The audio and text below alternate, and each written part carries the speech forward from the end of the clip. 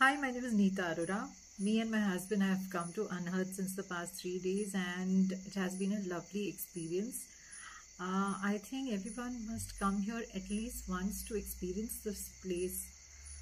I don't think I have experienced this kind of solitude in a very, very long time. And most of us are living in fast paced cities, so it's very important to take this kind of a break just to regenerate yourself.